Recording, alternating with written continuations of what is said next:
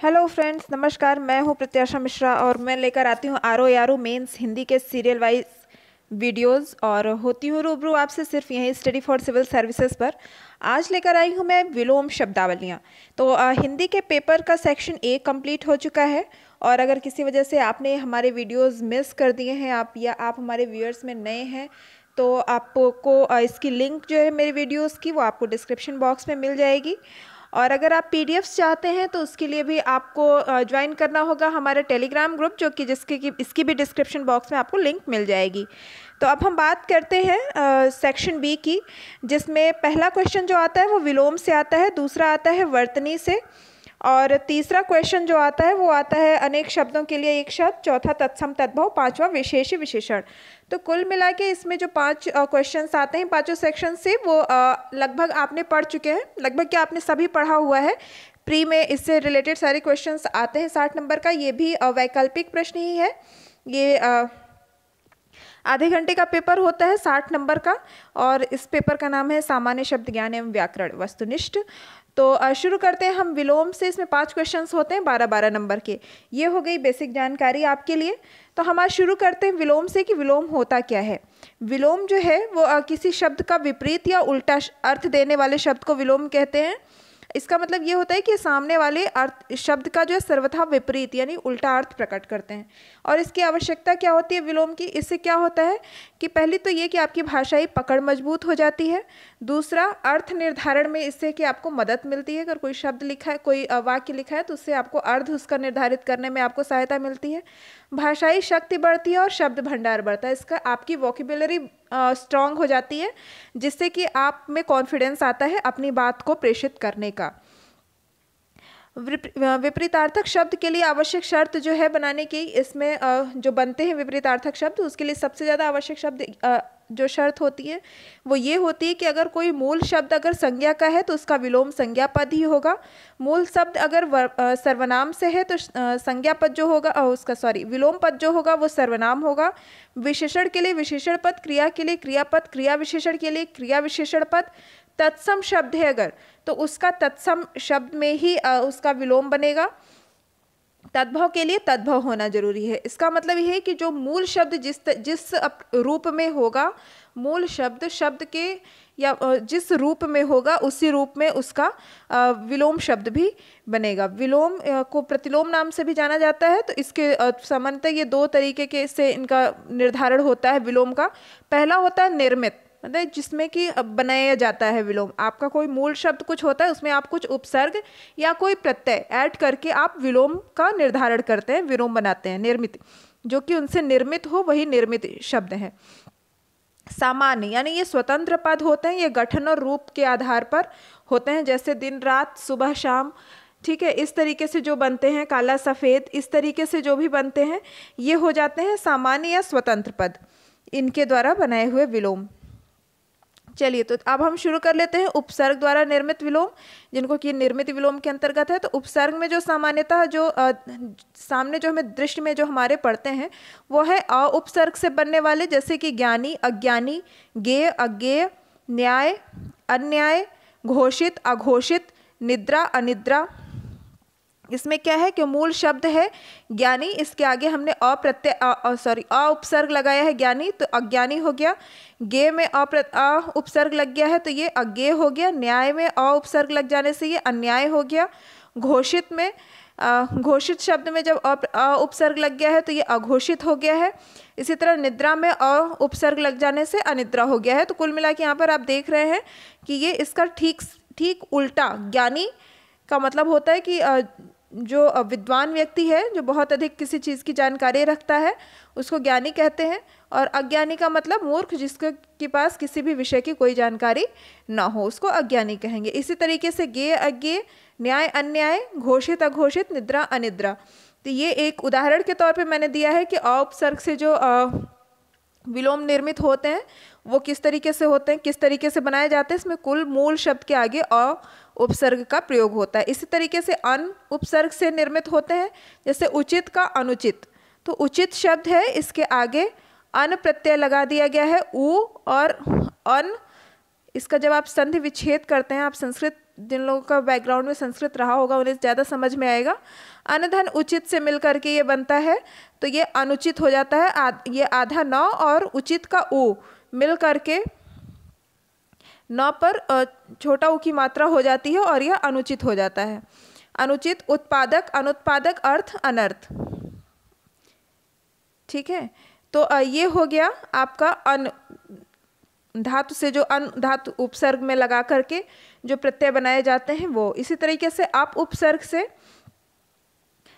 उपसर्ग, उत्कर्ष, अपकर्ष, कीर्ति, अपकीर्ति, शकुन, अपशकुन इसी तरीके से कुपसर्ग से सुअवसर, कुअवसर, सन्मार्गी, कुमार्गी, सुपरिणाम, कुपरिणाम, सुपुत्र, कुपुत्र।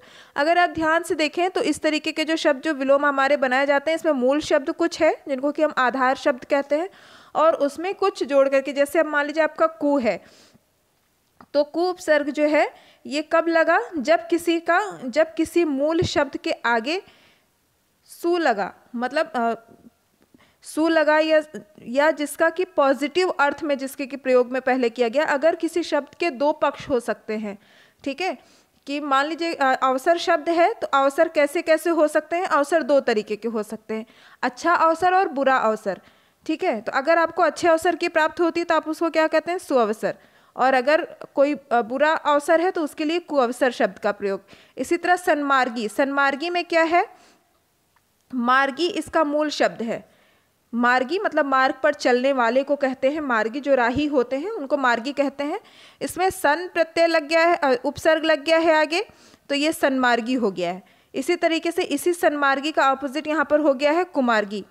ठीक है मतलब खराब रास्ते पर सनमार्गी मतलब सत्य पथ पर चलने वाला, अच्छे रास्तों पर चलने वाला और कुमार्गी का मतलब बुरे, बुराई की ओर चलने वाला, बुरे रास्तों पर चलने वाला। इसी तरीके से, ठीक इसी तरीके से बना है आपका सुपरिणाम। कुपरिणाम इसमें परिणाम मूल शब्द है, जिसके आगे सु लगा है पहले, तब जा करके यह सुपरिणाम हुआ है। तभी जब इसके आगे कोई एक उपसर्ग द्वारा निर्मित कोई शब्द होता है पहले से, और फिर उस उसमें भी कोई दूसरा, उसके उपसर्ग में बदलाव करके जब दूसरे दूसरा कोई शब्द बनता है, उसका विपरीत बनता है, तब जा करके वह होता है, वह इसका विपरीत बनता है, इसके उपसर्ग, जो मूल उपसर्ग जो इसमें लगा हुआ है, उसमें उसमें परिवर्तन करके।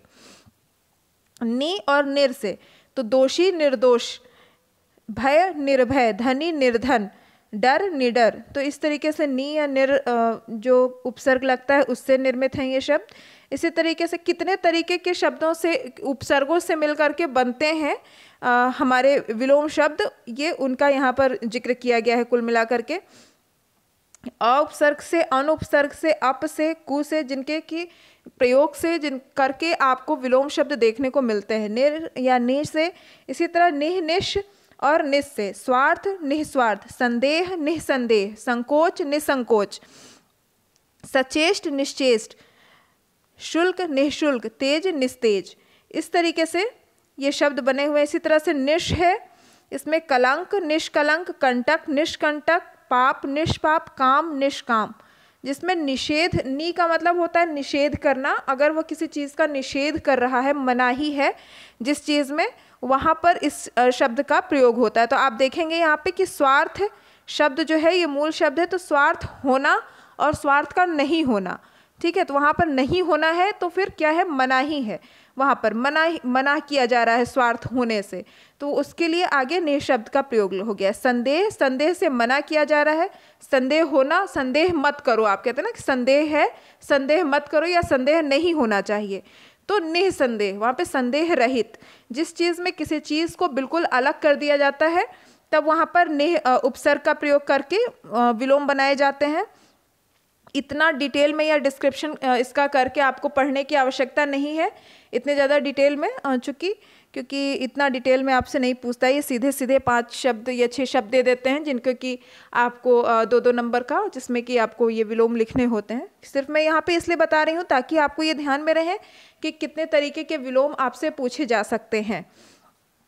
तो निश शब्द है कलंक, निष्कलंक, कंटक, निष्कंटक, पाप, निष्पाप, काम, निष्काम। इसी तरीके से निरुपसर का प्रयोग करके बनता है। उद्देश्य, निरुद्देश्य, आकार, निराकार, सार्थक, निरर्थक अपराध, निरपराध। राग, इसी तरीके से वि उपसर्ग है। इसका प्रयोग करके बनेगा राग, विराग, धृष्ट, विनम्र, क्रय, विक्रय, उन्मुख, विमुख। प्रति उपसर्ग लगा करके बनता है। आगमन, प्रत्यागमन। वाद, प्रतिवाद। घात, प्रतिघात। पक्ष, प्रतिपक्ष। इसी प्रकार बे उपसर्ग लगा करके रोज़गार, बेरोजगार। सहारा बेसहारा, सुरीला, बेसुरीला। दुर उपसर्ग लगा करके, सुबोध, दुर्बोध। सज्जन, दुर्जन। सौभाग्य, दुर्भाग्य। दुष लगा करके, सत्कर्म, दुष्कर्म। सच्चरित दुष्चरित्र सुकर, दुष्कर। वैसे तो ये ऑप्शनल है, इसमें ऑप्शन देख करके हम लोग को समझ में आ जाता है कि क्या सही इसका विलोम हो सकता है। ऐसा इसलिए होता है क्योंकि आप दैनिक जीवन में उनका प्रयोग करते हैं और कहीं ना कहीं आपके आईक्यू में ये चीज़ बैठी होती है कि हमें किस तरीके से ये क्या हो हो सकता है या क्या होना चाहिए। लेकिन आपको बेसिकली उसका थ्योरी नहीं पता होती कि क्यों इस तरीके से ये निर्म, निर्मित हो गया। तो आपको उस थ्योरी में बहुत ज़्यादा ध्यान देने की आवश्यकता भी नहीं है। सिर्फ़ ये कुछ महत्वपूर्ण है जिनको कि मैंने इसमें लाने का प्रयास किया है। जितने भी मैंने उदाहरण लिए हैं उनको। ठीक है, ये उपसर्ग में परिवर्तन करके तीसरा जो बनता है विलोम, वो उपसर्ग में परिवर्तन करके बनता है, जैसे कि ये आदान है तो उपसर्ग में परिवर्तन कर दिया गया है और बन गया है ये प्रदान। सुलभ का दुर्लभ, संयोग का वियोग, अतिवृष्टि की अनावृष्टि, अनुकूल का प्रतिकूल, उपकार का अपकार और अंतर्द्वंद का बहिर्द्वंद, आयात का निर्यात, अल्पज्ञ का बहुज्ञ सरस का नीरस इस तरीके से जो भी बनते हैं, इसमें सब में उपसर्ग में इनके परिवर्तन हो जाता है, परिवर्तन करके बनाए गए होते हैं। इसी तरीके से प्रत्यय द्वारा निर्मित होते हैं, जिसमें कि जैसे नर है, नर का नारी तो इसमें प्रत्यय जुड़ गया है। बेटा का बेटी, लड़का का लड़की, चींटा चीटी, घोड़ा घोड़ी, इस तरीके से इसमें प्रत्यय में परिवर्तन करके बनाए गए हैं ये। फिर ऐसे आते हैं युग में प्रयोग होने वाले शब्द, जैसे कि अपने पराए जिसमें कि एक जो होता है वो मूल शब्द होता है और दूसरा उसका विपरीतार्थक होता है। ठीक है, अपने पराए जीवन, मरण वाद विवाद, प्रश्न, उत्तर, इधर, उधर, आना, जाना, ये सारे जो उदाहरण हैं, ये सभी युग में प्रयोग होने वाले शब्दों के हैं। कभी कभी पक्षों की विविधता के कारण एक शब्द के एक से अधिक विलोम हो सकते हैं, ठीक है? जैसे कि राजा, रानी तो ये लिंग की दृष्टि से राजा का एक विलोम रानी हो सकता है, ठीक है? इसी तरह शासक और शासित की दृष्टि से अगर आप देखें तो राजा का एक विलोम क्या हो जाएगा? प्रजा हो जाएगा। इसी तरीके से अगर धनवान और निर्धन या आर्थिक उसकी दृष्टि से देखें तो राजा का रंक हो जाएगा, ठीक है? कभी कभी क्या होते हैं कि एक शब्द के दो अर्थ होते हैं। तो इस सह प्रयोजन के आधार पर कभी कभी विलोम एक से अधिक होते हैं। ठीक? तो ऐसे में क्या होता है कि जैसे काला, मैंने जिनके साथ जिन शब्दों का प्रयोग हो रहा है, वो किस तरीके से हैं, इसको सह प्रयोजन कहते हैं। तो काला आदमी, गोरा आदमी। काला कपड़ा, सफ़ेद कपड़ा। मतलब कि काला जो है, ये यहाँ पे रंग है, लेकिन ये डिपेंड करता है कि ये किस किस चीज़ के प्रयोजन में प्रयोग किया जा रहा है। अगर ये काला है, अगर ये काला आदमी के प्रयोजन में प्रयोग किया जा रहा है काले शब्द का, तब फिर ये इसका विपरीत क्या होगा? गोरा होगा। और अगर काले शब्द का प्रयोग यहाँ कपड़ा के प्रयोजन से किया जा रहा है तो फिर इसका विलोम सफ़ेद होगा। ठीक है तो कुछ इस तरीके के भी शब्द होते हैं। कभी कभी एक शब्द के दो अर्थ होते हैं, तब दोनों अर्थों के आधार पर अलग अलग विलोम होते हैं। जैसे कि उत्तर उत्तर एक शब्द है, ठीक है? तो इसके दो अर्थ हो सकते हैं। दिशा के अर्थ में भी इसका उत्तर उत्तर शब्द का एक अर्थ दिशा के अर्थ में हो सकता है, दूसरा प्रश्नोत्तर के अर्थ में हो सकता है। तो जब हम दिशा के अर्थ में इसका प्रयोग करते हैं, तब इसका विपरीत क्या हो जाता है? दक्षिण। और जब हम इसका प्रयोग प्रश्नोत्तर के उसमें करते हैं, तब फिर इसका विपरीत हो जाता है प्रश्न। नवा पॉइंट है, हर शब्द का विलोम नहीं हो सकता। जैसे कि मेज मतलब कुछ एक्सेप्शंस होते हैं इसमें। जैसे कि मेज मेज का कोई विलोम नहीं होता।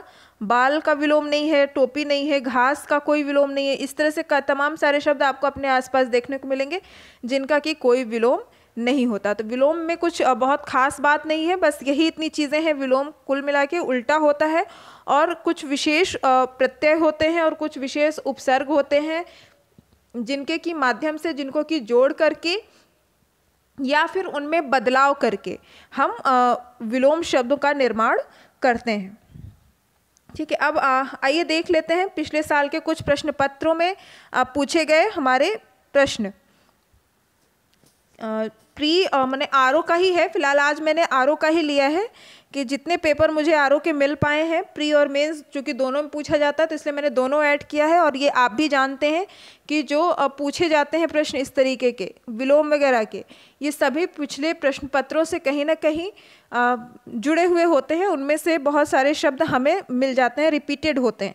तो आइए हम देखते हैं पिछले साल के प्रश्न पत्रों में किस तरीके के प्रश्न विलोम से संबंधित पूछे हुए हैं। तो UP R O A R O pre का है ये 2016 का जो कि परीक्षा कैंसिल हो गई थी। ठीक है? तो ये है आ, 2016 का इसमें पहला है सुलभ का विपरीतार्थक। तो सुलभ का होता है क्या? दुर्लभ। ठीक है? ये आप सभी जानते हैं कि सुलभ का होगा दुर्लभ। यहाँ पर दुर्प्रत्यय लगा हुआ है इसमें। इसका दुष्प्राप्य नहीं होगा दुष्प्राप्य और अप्राप्य। ठीक है? ये दोनों प्राप्य के हैं विलोम है प्राप्य के। अलब्ध का जो विलोम होता है, वो होता है लब्ध। ठीक है? तो सुलभ का जो सबसे नज़दीकी होगा, वो है दुर्लभ। इसी तरह दीर्घायु का जो है विलोम, चार इसका ऑप्शन दिया है, चिरायु, अल्पायु, नश्वर, क्षणिक तो इसका जो है अल्पायु होगा। दीर्घायु का चिरायु जो है, ये दीर्घायु का समानार्थी है। क्षणिक का जो है, इसका होता है शाश्वत और नश्वर का होता है अनश्वर। ठीक? व्यष्टि। इसमें चारों के, देखिए, जब भी आप कोई प्रश्न ऑप्शनल ऐसा पढ़ते हैं तो आप प्लीज़ आप उसमें ये श्योर कीजिए कि आपने जो क्वेश्चन जो आंसर आपने टिक किया है, अगर आप उसके लिए श्योर हैं तो बाकी तो अच्छी बात है, लेकिन अब बाकी तीन ऑप्शंस जो होते हैं उनमें, उनको किन आधार पर रखा गया है और उनका, उन, क्या क्या अर्थ होता है, वो किस चीज़ से रिलेटेड है इन सभी बातों को भी अगर आप पढ़ते हैं तो इससे आपकी स्टडी ज़्यादा पक्की हो जाती है। और आप कभी भी अपने ऑप्शंस में कंफ्यूज नहीं होंगे। फिर कि ये भी आंसर सही हो सकता है, ये भी सही हो सकता है। आप ज़रा सा भी अगर कहीं भूल भटक रहे हैं तो आपको बाकी आंसर्स जो कि जिसमें कि आप कन्फ्यूज़ होते हैं बार बार उनमें कन्फ्यूज़ नहीं होंगे। इसलिए जब भी आप अपने पुराने पेपर्स का एनालिसिस कीजिए तो प्लीज़ उसमें ये चीज़ का ध्यान रखिए कि आपको चारों ऑप्शंस के डिटेल्स आपको पता होनी चाहिए कि सही उत्तर के अलावा, सही उत्तर है तो क्यों है वह? और उसके अलावा कि बाकी जो तीन ऑप्शंस हैं वो कहाँ से लिए गए हैं और किस चीज़ से संबंधित हैं। ठीक है चलिए व्यष्टि का विलोम हम देखते हैं। व्यष्टि का है विलोम समष्टि होता है समास का विलोम होता है व्यास समवेत का मतलब होता है इकट्ठा या एकत्र किया हुआ तो इसका एकल आ, होना चाहिए विलोम। इसलिए क्योंकि आपने समवेत गान सुना होगा समवेत गान का मतलब होता है ग्रुप सॉन्ग। ठीक है? इसी तरह से फिर वो एकल गान होता है, संवेद गान और एकल गान मतलब एक व्यक्ति। संवेद का मतलब बहुत सारी चीज़ों को जब हम कलेक्ट कर देते हैं एक जगह तो उसको संवेद कहते हैं या इकट्ठा करना करना को कहते हैं, जिससे बहुत सारे लोगों का समागम समवेत ये सारे शब्द एक ही उससे बने हुए हैं। इन सबका ओरिजिन एक ही है। तो ये हो गया इसका एकल होना चाहिए और समस्त का असमस्त होता है, ठीक है? उपमेय। उपमेय का विलोम जो है, वो होता है अनुपमेय इसका उपमेय का विलोम अनुपम भी हो सकता है। तो ये थोड़ा सा डाउटफुल है। यहाँ पर अनुपमेय सबसे ज़्यादा, चूँकि उपमेय शब्द है तो रचना के आधार पर अनुपमेय सबसे ज़्यादा नज़दीकी होगा। लेकिन तो इसका एक विलोम अनुपम भी हो सकता है। अतुलनीय का होता है तुलनीय, अनुपमित का होता है उपमित। ठीक है? भूगोल का विलोम जो होता है, वो खगोल है। क्योंकि भूगोल जो है वो पृथ्वी से संबंधित हो, है और खगोल जो है, ये अंतरिक्ष से संबंधित है। ठीक है? सहयोगी का सर्वथा उपयुक्त विपरीतार्थक, सर्वथा उपयुक्त विपरीतार्थक यहाँ पूछा है। तो सहयोगी का होता है, प्रतियोगी यहाँ पर होगा सर्वथा सर्वथा उपयुक्त, क्योंकि उपयुक्तता और की दृष्टि से अगर देखा जाए तो फिर ये जो है, प्रतियोगी का प्रतियोगी ही होगा इसका। प्रतिद्वंदी प्रतिरोधी। ये इसका कोई अर्थ नहीं, वो होता है यहाँ पर सहयोगी का प्रतिद्वंदी भी नहीं होगा, प्रतिरोधी भी नहीं होगा, प्रतिकूल का अनुकूल होता है, ठीक है? तो ये ये दोनों भी हैं, सहयोगी के जो हैं, प्रतिद्वंदी और प्रतिरोधी भी हो सकते हैं, लेकिन अगर उपयुक्तता की दृष्टि से सर्वाधिक उपयुक्त कहा है ना तो सर्वाधिक उपयुक्त जो होगा इसमें वो प्रतियोगी होगा। रचना के आधार पर। जोड़ का विलोम जो होता है, वो घटाव होता है तृष्णा का विलोम वितृष्णा है निष्प्रिय का स्प्रिय है, संतुष्टि का असंतुष्टि और वितृप्त का तृप्त। निषिद्ध का विलोम जो है, वो है विहित। निषिद्ध का मतलब होता है कि मना किया हुआ, विहित का मतलब है कि आदेश के अनुसार जाने योग्य, लेके जाने योग्य। ठीक है, निषिद्ध का मतलब होता है कि आदेश के अनुसार मना किया हुआ, कि किसी चीज़ के मना करने का आदेश और विहित का मतलब है कि आदेश के अनुसार ले जाने लायक है। ये चीज़ें कि आप लेके जा सकते हैं, कर सकते हैं, अपने में अनुग्रहित हैं ये चीज़ें। इसका अर्थ ये होता है, निश्चित का होता है, अनिश्चित हो गया, उचित का अनुचित और निर्मित का अनिर्मित होता है विलोम। पोषण का होता है, शोषण और इसका न चूषण होगा, न अपोषक होगा, न क्षीणकारी होगा, ये सभी शब्द अलग हैं। पोषक से इनका इनसे कोई संबंध नहीं है। तो पोषक का शोषक होता है। अब हम देखते हैं UP R O A R O pre 2014 का पेपर। इसमें जो सबसे पहला क्वेश्चन है, जंगम जंगम का विलोम जो होगा वो स्थावर होगा, क्योंकि यहाँ पे अगम और अगम और दुर्गम। ठीक है, इन दोनों का विलोम जो होगा वो सुगम होगा। ठीक है स्थावर जो है जंगम का होगा और चंचल का गंभीर होगा या शांत होगा। दो इसके विलोम हो सकते हैं। तो जंगम का जो है वो स्थावर इसलिए होगा क्योंकि जंगम का मतलब होता है कि जीवन, जिनमें जीवन पाया जाता है, वो जंगम होते हैं। तो स्थावर का मतलब होता है जड़, इसकी जगह पे जड़ भी होता है।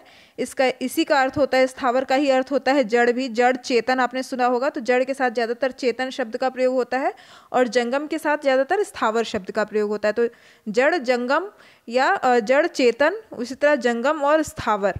जंगम का मतलब होता है जो चीज़ें गतिमान हो, चलायमान हो, प्राणवान हो और स्थावर का मतलब होता है निर्जीव सृष्टि।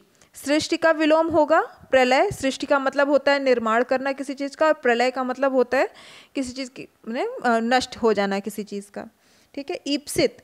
ईप्सित का विलोम होता है अनिप्सित। ईप्सित जो है, इसका शब्द का, इसका अर्थ होता है इच्छा। बहुत अधिक चाहा हुआ या अत्यधिक इच्छित वस्तु, चीज़ जो होती है, उसको कहते हैं ईप्सित। इसका अभीप्सित जो है, वो इसी का समानार्थी है, और इसका शुद्ध जो विलोम होगा वो है अनिप्सित, परोपसित और सुनी सुनिप्सित। ये कोई शब्द नहीं है फ़िलहाल डिक्शनरी में, इस तरीके के शब्द के किसी का चर्चा नहीं है। साहचर्य का विलोम होता है अलगाव। साहचर्य का मतलब होता है साथ साथ चलना या साथ साथ रहना। तो इसका मतलब होता है अलगाव, इसका विलोम हो गया। विराट का अर्थ है विराट का होगा क्षुद्र विराट का मतलब बहुत बड़ा। वृहत भी इसका वही अर्थ है, वृहत भी वही है। छोटापन का मतलब बड़ापन, छोटापन जो है वो नेचर विराट जो है ये व्यक्तित्व है और छोटापन जो है ये नेचर है। ठीक है, ये पर्सनैलिटी से रिलेटेड है और ये नेचर से रिलेटेड है। इसलिए इस ये सब थोड़ी थोड़ी छोटी छोटी सी चीज़ें हैं, बारीक चीज़ें हैं जिसको कि अर्थ के अंतर, जब तक आप इसका शब्द, मूल शब्द जिसका विलोम दिया हुआ है, पूछ रहा है कि, कि इसका विलोम क्या होगा उसका अर्थ आपको जानना बहुत आवश्यक है। अगर आप उसका अर्थ जान जाते हैं कि इस शब्द का मूल अर्थ क्या है और इसको किस वे में इसका प्रयोग किया जाता है किस तरीके से कहाँ पर तब फिर जो है आप उसका विलोम बहुत आराम से पता कर सकते हैं कि क्या है। स्पृश्य का है अस्पृश्य। स्पृश्य का मतलब होता है छूने योग्य अस्पृश्य का मतलब होता है अछूत या जो छूने योग्य न हो। तो अस्पृश्य ये गलत है, ये तीनों जो हैं, लिखे हुए हैं, अस्पृश्य, अप अप्रिश्य लिखा है, अस्पृश्य और अस्पृश्य तो ये तीनों जो है, वर्तनी की दृष्टि से अशुद्ध है और अस्पृश्य ये सही है तो स्पृश्य का जो है, वो अस्पृश्य होगा, ठीक है? आज्ञा क्या होता है? विज्ञ, विलोम और विज्ञ या प्रज्ञ, एक ही शब्द है दोनों, इसका जो है, होता है आज्ञ। आठवां प्रश्न है, गौरव। गौरव का विलोम होता है लाघव। इसका विलोम लघुत्व नहीं होगा। लघुत्व का विलोम होता है गुरुत्व। लघुता का विलोम होता है गुरुता और लघुतम का गुरुतम। ठीक है? तो ये है इसका। और इसी तरीके से आगे देखते हैं हम कि बहिरंग। बहिरंग का जो है दिया हुआ है, उसके चार ऑप्शंस हैं, वो सर्वांग, अंतरंग, चतुरंग और अभ्यज्ञ तो बहिरंग का होगा अंतरंग। बहिरंग का जो अर्थ होता है, वो होता है बाहर का जो रंग होता है वो, और अंतरंग का मतलब आंतरिक जो भी हैं, वो वो चीज़ें अंतरंग कहलाती हैं। दसवां है, ग्रस्त, इसका होता है अर्थ, इसका विलोम होगा मुक्त। ठीक है, ग्रस्त होना मतलब किसी चीज़ में जकड़े हुए होना, और मुक्त का मतलब होता है मुक्त होना। ठीक है तो आ, अगला जो है ये है paper U P R O A R O mains दो हज़ार चौदह का जो आया था वो आप देखते हैं मेंस में किस तरीके के प्रश्न आते हैं क्या है? इसमें मुझे बहुत ज़्यादा अंतर नहीं दिखा प्री और मेंस के क्वेश्चंस के लेवल में फ़िलहाल अब तक का जो पेपर मुझे मिला है उसमें तो आपको निश्चिंत रहिए आपने जो तैयारी प्री में की है आपको उसमें थोड़ा सा और मॉडिफाई करने की आवश्यकता है और उतने से आपका ये क्वेश्चन पक्का हो जाएगा। तो चलिए देख लेते हैं, इसमें पहला प्रश्न है आहूत, इसका होता है अनाहूत, ठीक है? अब अब मैंने डिस्क्रिप्शन करके मैंने इसका बता दिया है और अब आप खुद से एक बार देखिएगा कि क्या अर्थ होता है और उसके क्यों ये विलोम है बाकी तीनों, ठीक है? जहाँ नहीं समझ में आएगा, आप वहाँ पर कमेंट बॉक्स में बिल्कुल आप अपने डाउट्स लिखिएगा, उनका जो है समाधान करने का मैं पूरा प्रयास करूँगी। अथ का विलोम है इति और वादी का प्रतिवादी, अवर का प्रवर। ठीक? जटिल का, सरल। विलोम की दृष्टि से एक युग्म अशुद्ध है।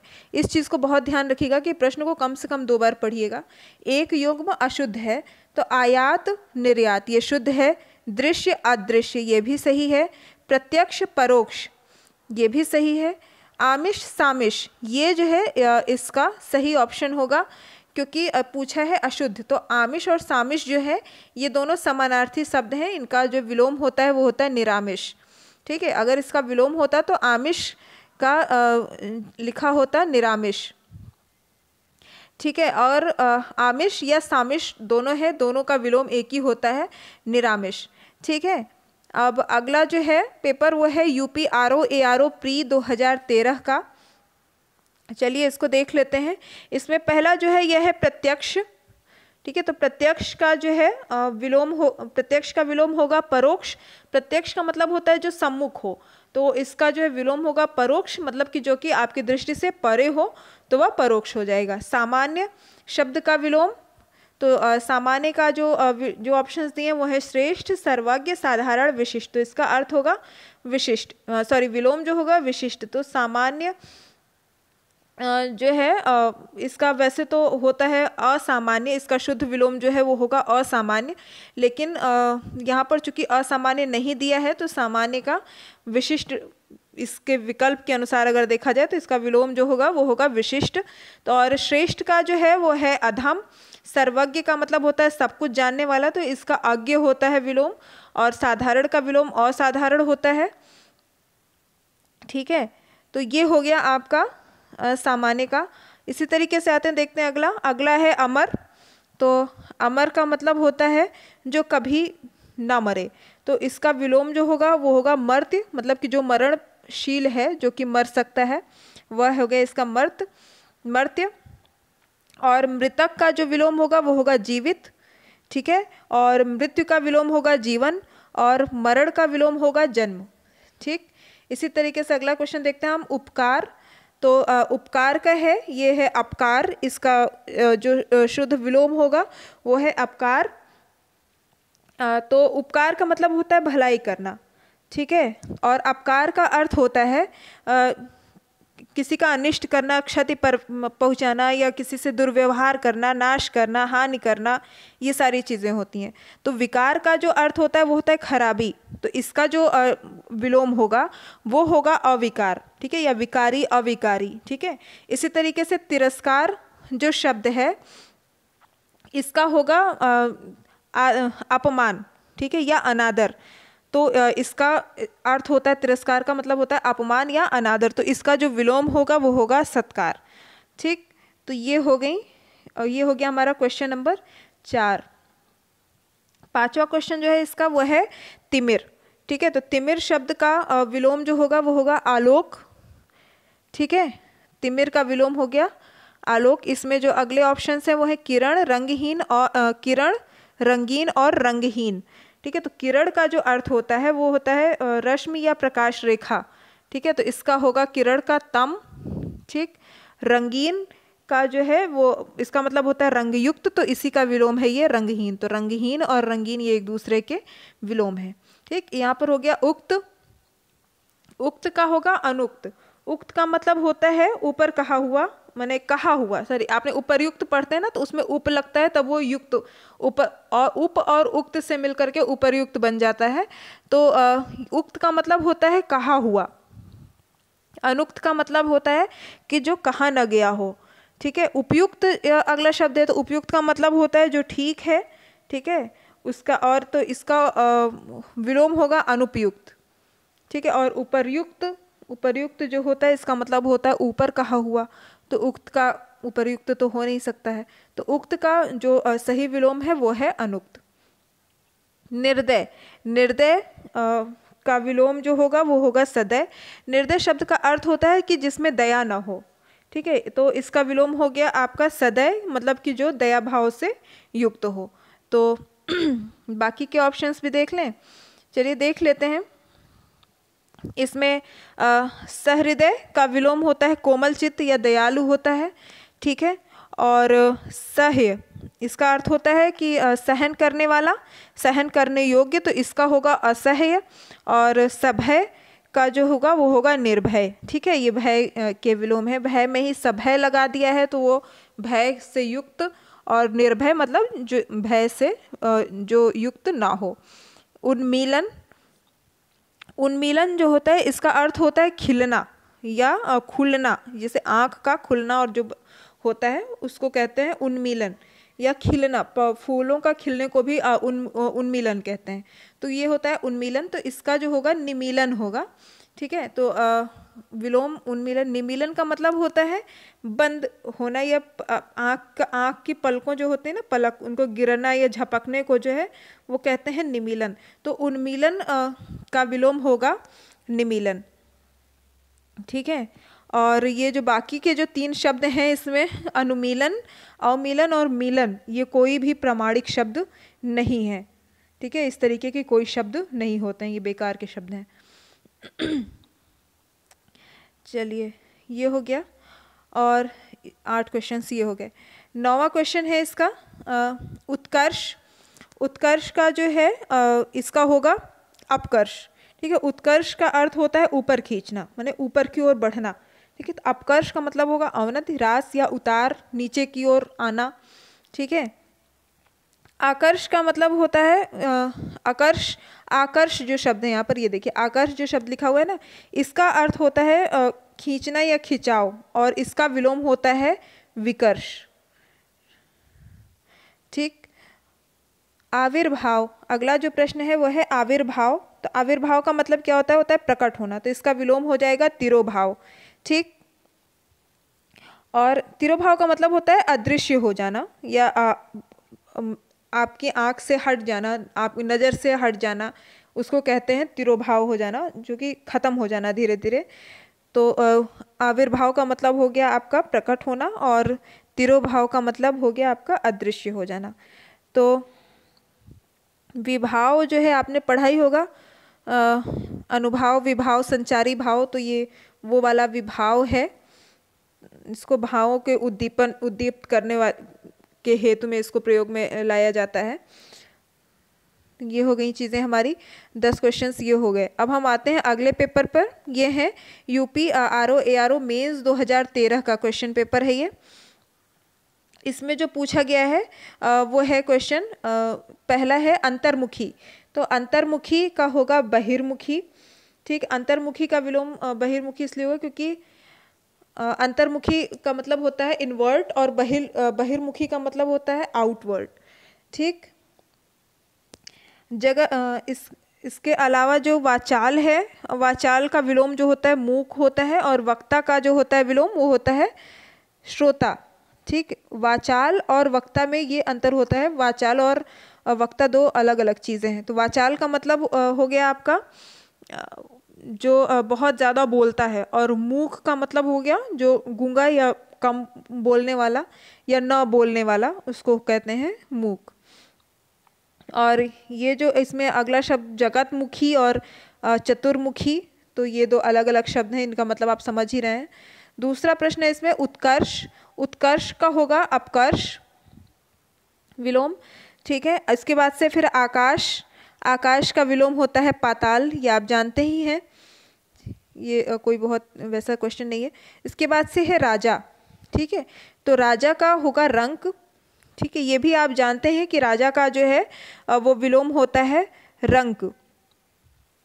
लेकिन लिंग के आधार पर अभी मैंने इसके पहले वो किया था तो ये जो है, ये आर्थिक दृष्टि से है रंक, ठीक? राजा का यहाँ पर विलोम, इसका विलोम और क्या क्या था? रानी भी हो सकता है, इसका विलोम प्रजा भी हो सकता है, जो कि दोनों इसमें नहीं दिया हुआ है। और यहाँ पर इसका मतलब ये आर्थिक दृष्टि के आधार पर अगर देखा जाए तो ये रंग होगा। अच्छा एक स्टूडेंट ने मुझसे प्रश्न किया था, एक बार ऐसे ही मैं पढ़ा रही थी कहीं तो उन्होंने उसने मुझसे प्रश्न पूछा कि ये राजा का विलोम गरीब, दरिद्र और भिखारी क्यों नहीं हो सकता? तो राजा जो है गरीब का होता है अमीर। ये चीज़ आप जानते हैं कि गरीब का मतलब होता है धन से गरीब तो उसका होता है अमीर। दरिद्र जो है इसका होगा धनवान। ठीक है? और भिखारी का होता है दाता। भिखारी का मतलब होता है दान भीख मांगने वाला। और दाता जो होता है वो दान देने, दाता या दानी। कुछ भी हो सकता है इसका, दोनों हो सकता है। ठीक है? तो अब राजा और रंक में स्टेटस की बात यहाँ पर की जा रही है। स्टेटस के आधार पर इसका वो किया जा रहा है। इस वजह से राजा का कभी भी गरीब नहीं हो सकता विलोम, इसका दरिद्र विलोम नहीं हो सकता और भिखारी भी इसका विलोम नहीं हो सकता। इसका विलोम सिर्फ़ और सिर्फ़ रंक होगा, क्योंकि राजा जो है, वह एक राजा केवल आर्थिक उससे ही नहीं, एक सामाजिक भी स्टेटस है उसका। उसके बेस पे वह राजा है और उसी तरीके से रंक, राजा के पास सब कुछ है, प्रजा भी उसकी है, लेकिन रंक के पास कुछ भी नहीं है। ठीक, रंक जो है वो बिल्कुल से मतलब कुछ भी ना होना जिसके पास, उसको कहते हैं रंक। भिखारियों के पास तो अब बहुत कुछ है आजकल। सगुण। सगुण का होता है निर्गुण। ठीक है? तो निर्गुण होता है इसका, ये आप जानते ही हैं, सगुण का निर्गुण। आठवां है, अप अपशकुन। अपशकुन का शकुन होगा। स्वाभाविक है। इसके बाद से फिर जो अगला पेपर है हमारा, ये है UP R O A R O general paper pre का आया था ये दो हज़ार दस का पेपर है ये। ठीक है? इसको भी देख ही लेते हैं। इसमें जो पहला प्रश्न है, ये है अथ। अथ का होता है इति। ठीक? अथ का हो गया इसका इति। और अथ का जो अर्थ होता है, वो होता है प्रारंभ होना। तो इति का अर्थ जो हो गया, वो होता है खत्म होना। ठीक है? फिर इसी तरह समाप्त का जो विलोम है, समाप्त का विलोम होगा ये आपका आरंभ। ठीक? और खत्म का विलोम होगा आपका शुरू। तो जैसा अर्थ, जैसा शब्द का प्रयोग किया गया है, उसका विलोम भी वैसा ही होगा, ये आपको बताया बताया है। पूर्ण का अपूर्ण होगा, ठीक है? तो इस तरह अथ का इति, इसका सही विलोम होगा। दूसरा है अभिज्ञ अभिज्ञ का होगा अज्ञ, कृतज्ञ का होगा कृतघ्न। कृतज्ञ का मतलब होता है जो किसी एहसान के प्रति, किसी परोपकार के प्रति आपके आप एहसानमंद हो, जो आपका उसको कहते हैं कृतज्ञ कृतज्ञ व्यक्ति। कृतज्ञ का मतलब होता है जो एहसान फरामोश होते हैं, उनको कहते हैं कृतज्ञ। कभी कभी कुछ चीज़ों को समझाना मुश्किल होता है। संवेदन संवेदनहीन ये एक देखिए शब्द है तो इसका विलोम होता है संवेदनशील और जड़ का विलोम होता है चेतन। ठीक है? तो ये हो गया संकीर्ण है अगला। संकीर्ण का विलोम जो होता है, वो होता है विस्तीर्ण। संकीर्ण का मतलब होता है बहुत सकरा। या तो विस्तीर्ण इसका होता है मतलब विस्तृत। और एकत्र का संकीर्ण हाँ एकत्र नहीं, इसमें संकीर्ण का मतलब संकीर्ण का विलोम हो गया यहाँ पर आपका विकीर्ण। बाकी सब आप खुद देख लीजिएगा इन सबको, बाकी सभी शब्दों को। वीडियो बहुत लंबा हो जाएगा, नहीं तो फिर पांचवा जो है, पांचवा शब्द है पांचवा प्रश्न है अनुरक्ति। अनुरक्ति का जो विलोम होता है, वो होता है विरक्ति।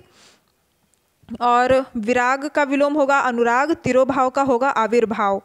ठीक है, संसक्ति का शब्द कोई कोश में नहीं उपलब्ध है फ़िलहाल। संसक्ति शब्द जो है, ये कोश में नहीं मिलेगा आपको कि संसक्ति क्या शब्द होता है। ठीक है, आगे हम देखते हैं, छठे क्वेश्चन पे आते हैं। छठा क्वेश्चन है, सापेक्ष सापेक्ष का होता है निरपेक्ष और असापेक्ष। कोई कोई व्यवहारिक कोई शब्द नहीं है, इसका कोई व्यवहार में कोई इस तरीके का शब्द आपको नहीं मिलेगा या डिक्शनरी में भी सापेक्ष कोई शब्द ही नहीं है ये। ठीक है, निष्पक्ष का विलोम होता है, सपक्ष या पक्ष, निषिद्ध का होता है, विहित। ठीक, और फिर अगला है विग्रह। विग्रह का जो होगा, वो होगा संधि। ठीक? और विग्रह का विलोम संधि इसलिए होता है क्योंकि विग्रह का मतलब होता है टूटा हुआ या अलग अलग तो संधि का मतलब क्या होता है? जोड़ना। तो संधि, विग्रह मतलब कोई जो शब्द होता है, जो जुड़ा हुआ होता है, उसका जब हम विग्रह कर देते हैं अलग अलग कर देते हैं उनको तो उसी को संधि विग्रह हम लोग करते हैं। वही है विग्रह और उसका जो विलोम है, वो है संधि। ठीक? कौन सा त्रुटिपूर्ण है इसमें? तो इसमें त्रुटिपूर्ण है उन्नत और अवगत। ये दोनों शब्द बिल्कुल अलग अलग हैं। अपेक्षा का उपेक्षा है सही है। ये अग्रज का अनुज अग्रज जो है ये बड़े भाई को कहते हैं अनुज छोटे भाई को कहते हैं। आदान का प्रदान ठीक है और इसका सही विलोम है उन्नत नहीं उन्नत और अवगत। ये दो अलग अलग शब्द हैं ये, ये कोई विलोम आपस में नहीं है। यथार्थ का आ, हो यथार्थ का होगा आदर्श ठीक है साधु का होगा असाधु अगला जो पेपर है, ये है हमारा UP R O A R O general paper 2010 mains का पेपर, जो अभी हमने, जो हम ऊपर अभी प्री का पेपर देख रहे थे, ये मेंस का पेपर है। इसमें रिजु का होगा वक्र, रिजु मतलब जो होती है, जो सीधी लाइन होती है, इसको रिजु कहते हैं, और जो वक्र होता है, वो टेढ़ी मेढ़ी जो लाइनें होती हैं, उनको वक्र रेखाएँ कहते हैं। आकलन का विकलन, संयोग का अवयोग, कौन सा त्रुटिपूर्ण है इसमें? तो अनुग्रह का आग्रह ये जो है ये त्रुटिपूर्ण है। आ, अनंत का शांत जड़ चेतन आकृष्ट विकृष्ट ये सभी ये तीनों सही हैं ऑप्शन ठीक पांचवा क्वेश्चन है कौन सा त्रुटिपूर्ण है? तो क्षर का अक्षर है सही है समास व्यास सही है अल्पायु चिरायु सही है। आहार का विहार नहीं होता निराहार होता है। ठीक ये हो गया पांचवा क्वेश्चन अब हम आते हैं छठा क्वेश्चन है इसका कौन सा त्रुटिपूर्ण है? तो आमिष सामिश आधार, आधेय, विनत, उद्धत, विपत्ति, संपत्ति। ठीक है तो आमिष और सामिश ये दोनों एक ही शब्द हैं, ये ऊपर भी देखिए, इसके पहले भी एक बार के पेपर में पूछ चुका है ये। यही मैं कह रही हूँ कि इस बात को आप ध्यान रखिएगा कि इन चीज़ों को आप जितना ज़्यादा पढ़ते हैं पुराने पेपर्स को, आपकी तैयारी आप समझ लीजिए कि उतनी ज़्यादा अच्छी हो रही है, क्योंकि इन्हीं क्वेश्चन में से बहुत सारे क्वेश्चन पुट किए जाते हैं, जो कि आपके आगामी परीक्षाओं के लिए बहुत ज़्यादा लाभकारी होते हैं आपके लिए। तो आमिष का, आमिष तामिश जो है, ये गलत है। देखिए, ये बिल्कुल वैसा ही प्रश्न भले ही ना हो, लेकिन इसमें ये जो ऑप्शन दिया हुआ है, ये वाला, ये बिल्कुल ऑप्शन उसी तरीके से दिया हुआ है, आमिष और सामिश चलिए UP R O A R O special pre है, ये 2010 का। इसमें अमित अमित का परिमित। देखिए, ईप्सित, एक शब्द हमने यहाँ पर ईप्सित, फिर पढ़ा, ईप्सित का अनिप्सित। ठीक है, ये हम, ये भी क्वेश्चन ऊपर पूछ चुका है, पढ़ा है अभी हमने। धनी का होगा निर्धन, स्वजाति का होगा विजाति। ठीक है, और उन्मूलन का होगा रोपड़। उन्मूलन, वो देखिए आप उसमें शब्दों में फेर में मत पड़ेगा शब्दों के। निमीलन का जो था वो दूसरा शब्द था ये है उन्मीलन। उन उन वो उन्मीलन था ये उन्मूलन है। उन्मीलन जो शब्द है उन्मूलन जो शब्द है उन्मूलन का मतलब होता है उखाड़ देना। ठीक है? किसी चीज़ को जड़ से हल, आ, अलग कर देना या हटा देना। ठीक है? तो आ, इसका जो होता है ये होता है रोपड़। रोपड़ का मतलब होता है किसी चीज़ को रोपना। ठीक? और इसी तरीके से जो अगला है, वो है श्री गणेश। तो श्री गणेश का मतलब होता है किसी चीज़ को प्रारंभ करना तो इतिश्री का मतलब होता है समाप्त करना। उन्मीलन का होगा निमीलन। देखिए, यहाँ पे आ ही गया ये फिर से ये प्रश्न, उन्मीलन, निमीलन। देखते जाइए कितने सारे प्रश्न आपके रिपीट हो रहे हैं। अधिकृत का होता है अनधिकृत, इसलिए मैंने इन प्रश्नों को हटाया नहीं है। ये जैसे जैसे पूछे थे वैसे वैसे ही मैंने, भले मुझे दो बार तीन बार लिखना पड़ा, लेकिन मैंने लिख दिया है। इस वजह से ताकि आपको ये बात समझ में आए कि कितने ज़्यादा इंपॉर्टेंट होते हैं हमारे पुराने क्वेश्चन पेपर्स हमारे लिए। अधिकृत, अनधिकृत, अनुलोम, प्रतिलोम, ठीक है? और